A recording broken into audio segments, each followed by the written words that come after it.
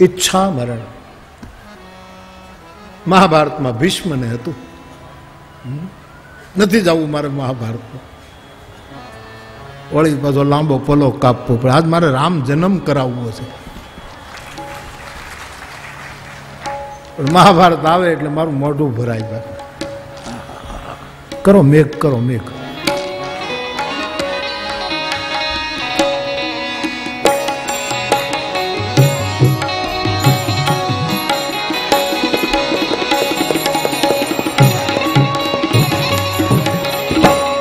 નારાયણમ નમસ્કૃત્યમ નરમ ચૈવ નરોત્તમં દેવી સરસ્વતી તતો જયમુદી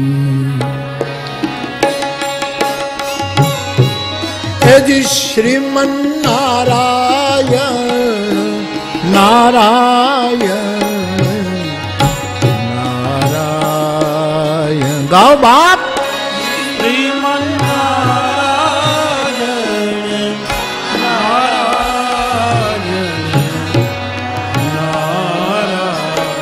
એ શ્રીમન નારાયણ નારાયણ.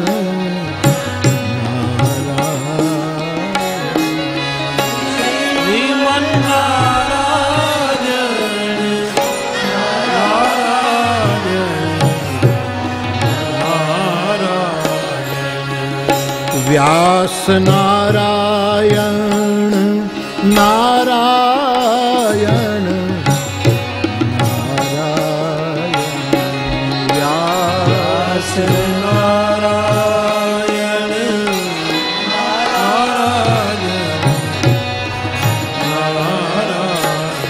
એ શ્રીમન નારાયણ નારાયણ નારાયણ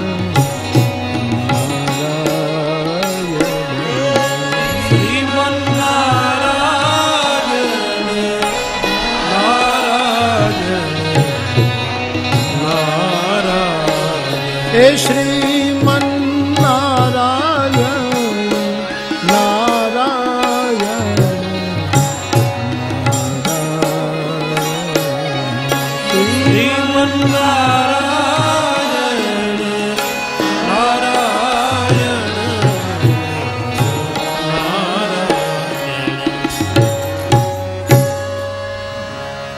મહાભારતનું યુદ્ધ તો પહેલે ડગલે જીતાઈ ગયું હતું, સાહેબ. ઔપચારિકતા બાકી હતી.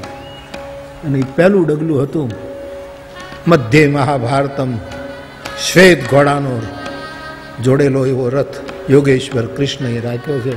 પાંડવોએ આટલા છેટા અને મારો કૃષ્ણ બધાને સમ ડિસ્ટન્સ ઉપર રાખતો. બિલકુલ મધ્યમાં છે. વ્યાસ કહે, પણવાન કગો મુખા ઢોલ ઢોલ વાગ્યા. સૌના પોતપોતાના નિજ નિજ શંખના નિનાદો થયા. સૌના પોતપોતાના નિનાદો થયા. સૌ જાણો છો. પણ એ જ વખતે યુધિષ્ઠિર રથમાંથી નીચે ઉતરે. ધનુષ્યબાણ ને હથિયારો એમને રથમાં રાખી દે. મોજડી કાઢી નાખી ધર્મરાજે. અને ઉઘાડે પગે આમ આલ્યો કૌરવની સભા તરફ. અને ભગવાન કૃષ્ણ જોતો રહી ગયો. કૃષ્ણે અર્જુનને કીધું, ધનંજય, જીતી ગયા તમે. જીતી ગયા જીતી ગયા બાપ.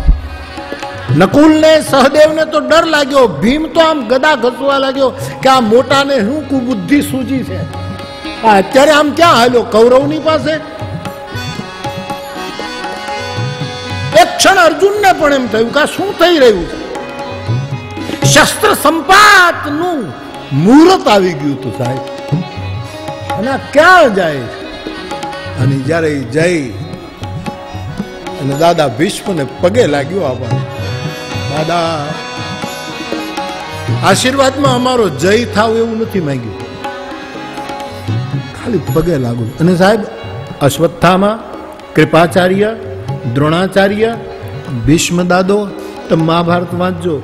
જેટલા પગે લાગ્યા ને, એક જ હરખા બધાએ જવાબ આશીર્વાદ. તારો જય હો.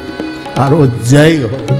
તારો જીવનના સંઘર્ષો પણ આમ જ જીતાય છે. આપણા કરતા ઉજળા હોય એને પગે લાગીને.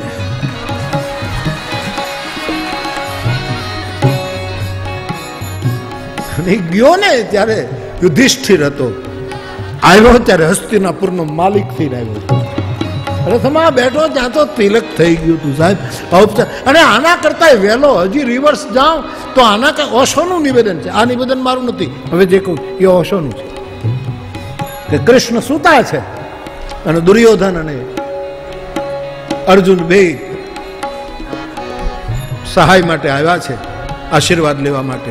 અને આપણે જાણીએ છીએ કે દુર્યોધન માથા પાસે બેઠો અને અર્જુન પગ પાસે બેઠો અને ભગવાન કૃષ્ણ જાગ્યા ઉઠ્યા પહેલી દ્રષ્ટિ અર્જુન ઉપર. ઓશોનું એવું નિવેદન કે મહાભારતનું જીત, યુદ્ધ ત્યારે જીતાઈ ગયું હતું. બાકી ઔપચારિકતા બાકી ઈચ્છા મરણ ભીષ્મ છે.